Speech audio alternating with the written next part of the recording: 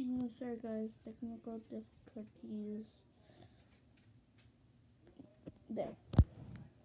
Guys, I've been having this cut for a couple days. I figured out it's magnetic. So I have a magnet to show this real magnet. Just attached uh, there. Magnetic. Okay.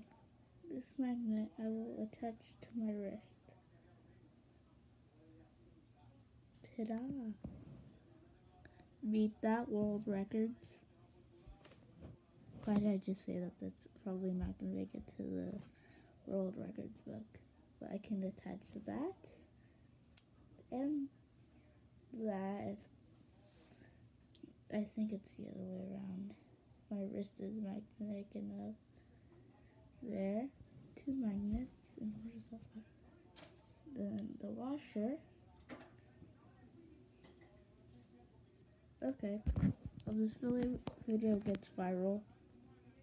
Similar to, uh, kind of like my other one, but that's on